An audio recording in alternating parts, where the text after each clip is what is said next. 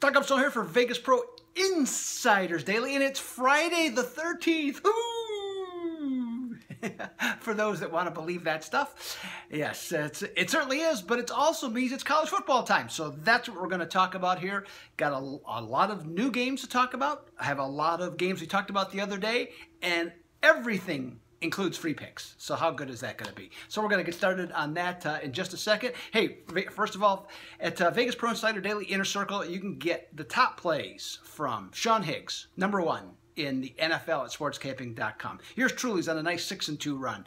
Uh, Kyle Hunter's 15 and 8 in his best bets. Jim Mack picked up a couple winners this week, and so has Dennis Macklin. So the whole crew is doing well at the present time. Hey, I'm not going to lie to you and tell you that that we win every day because that is not true. And anyone that tells you that is absolutely lying to your face. So we go everybody goes through streaks. If you're better you know that okay? You're gonna have good times you're gonna have bad times but the idea is to win money and that's what you're gonna be able to do. Plus you're gonna get uh, all kinds of other interesting things that are gonna help you win. Like our in-season uh, uh, systems have tremendous success, okay, with those. And they just keep developing week after week after week. Uh, Wise Guys plays, uh, top trends for the weekend, uh, some other super systems, okay, that do it really well, 80 plus percent. So you get all that, and that's just $99 a month for the entire package, okay? Like I say, you can go buy somebody's best bet, okay, for, for the weekend, and that's going to be at least $69.99. You can get everything for $99. Now, hey, let's, let's look at some line moves. Now, a couple actually I'm not going to talk about because of circumstance. Clemson and TCU both are increased favorites. Clemson playing tonight, being Friday.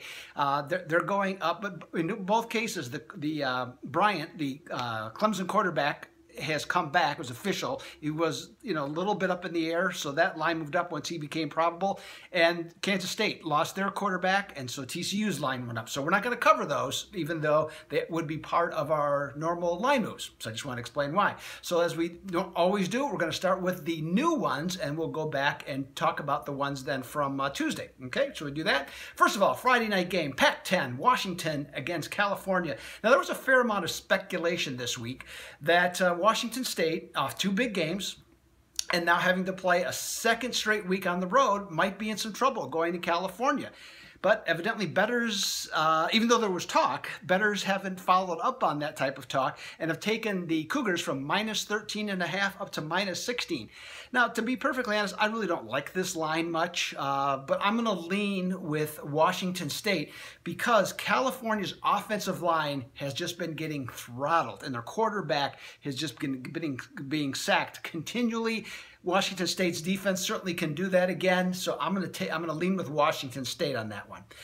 Next up, we on Saturday we're going to have a uh, high noon start on the ESPN News Network, and uh, it's not a game that many people would certainly look at. Uh, Connecticut at Temple, but somebody certainly is because the uh, Temple Owls have dropped from minus 12 and a half down to minus nine and a half, and the total has gone a lot right with it from 62 down to 58.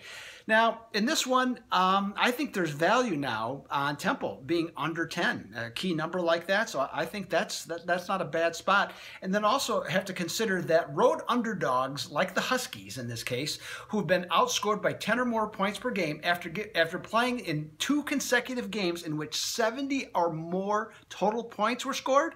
I know that's a lot to consider. So just you can play this back if you want. But when that happens, they're just 5 and 24 against the spread. Um, I like Temple here in, in this spot. I'm not so crazy about the total. I think the direction of the line move is actually correct. So I'll just have a slight lean on that. Uh, also, uh, kind of a big game in the, eh, kind of, it is a big game in the uh, Mountain West Conference, uh, Boise State and San Diego State. And in this one, um, the thing that, that's come about is there's been a change. And what's happened is, one of the things is, and I think I'm going to get this right, there's two things that are happening.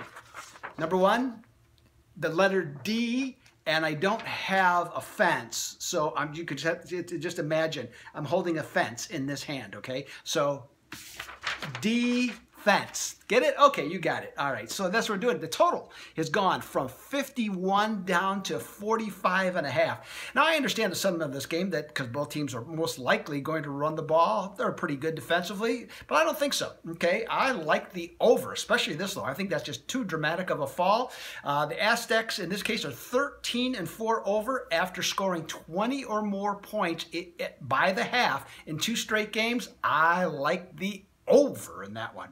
All right, now let's go back and talk about some of the games that uh, from the other day. Uh, that we had covered and uh, give you some updates on all of those. We're going to start with, uh, was it uh, West Virginia and, um, yeah, West Virginia and Texas Tech. That game's going to be in Morgantown. Now, the betting markets have, have kept this Big 12 battle right where it was, which is uh, West Virginia minus three and a half, but the total has come way down from 78 down to 72 and a half. Uh, I liked when I when I first uh, saw this game. I actually liked uh, Texas Tech. I don't like them as well at three and a half. I mean, it's not three, but I liked six a lot better. Needless to say. So, but I'll, I'll still give a shot. I, will give them a shot, and I think they have a possibility. They could actually win this game outright. And when I uh, scored this game by my power ratings, I came up with 71. Okay, so I not as strong a play anymore, but I would still consider the under in in that one with what the uh, with the adjustments that have been made. Uh, Florida International uh, is playing Tulane. Tulane was uh, went from minus 13, excuse me, minus 11 to minus 13. That's been bumped up to 13 and a half. Um, this one, I understand exactly why the Green Wave are why this is occurring. Okay, why their line is doing this. But here's the thing. I'm, I'm, i believe in program history, and sometimes it just takes a while to get going again. Tulane has not been a double-digit favorite against a FBS team since 2008. Okay, and then and it ended up being back-to-back games when that happened, and they did not cover either one. I don't think they're going to cover this one either. And in spite of what the, how high the number is, get this on the betting trends. And if you go to the, uh, the Vegas Pro Insider Daily website, you'll see this as well.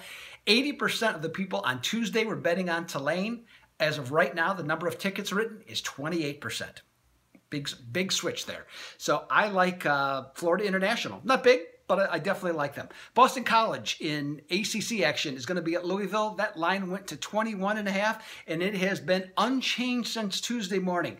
Um, I think Louisville's still the play here. Not, not, uh, not certainly not a, a big play. It's, it's a lot of points. But Boston College can't score, as we talked about the other day.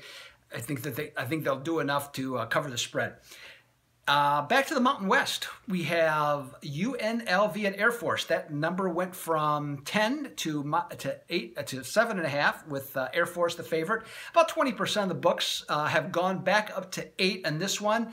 Um, as uh, as as the as was the case then. I like the Falcons of the Air Force being at home. I think they have enough to get this to get this covered, and I think they will. I think they'll cover the eight on that one.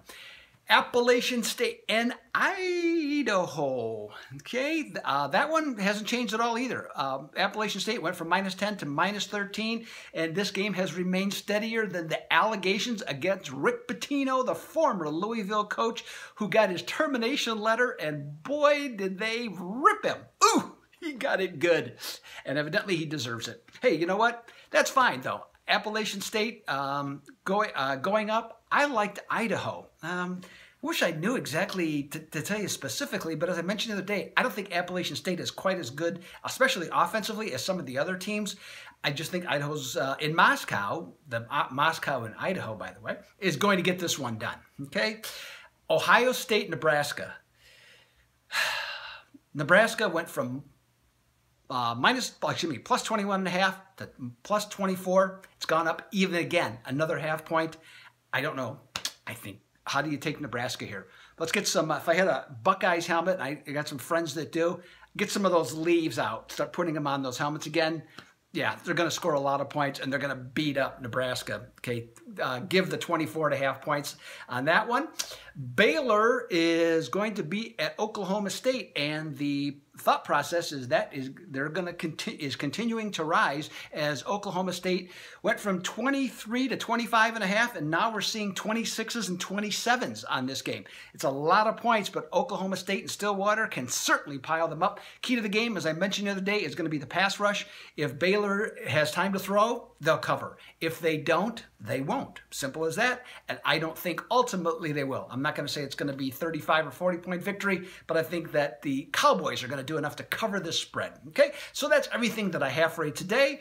Uh, you can go to the website. You can see, uh, as I have talked about the last several weeks, the public has been very good in terms of predicting winners. So I have the five best bets by the in terms of the public percentage of who they're taking. Those are uh, those will be up on the website uh, shortly, so you can check those out. Uh, I think 18, 10, and 2 sounds right to me in terms of what that record is. So check that out. Hey, and I'll be back tomorrow to talk about the NFL. And we'll have some more of this exact type of material, go through all the games, and plus, I'm sure have some new ones as well. So, all right, as of right now, uh, good luck to you. And Doug Upstone is out.